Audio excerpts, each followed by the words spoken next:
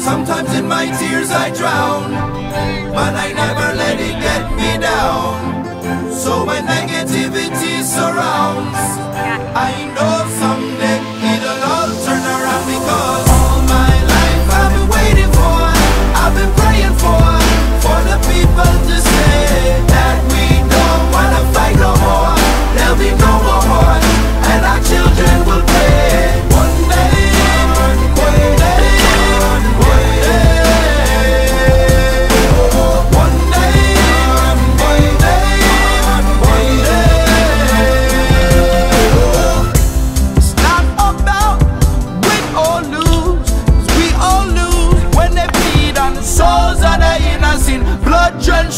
been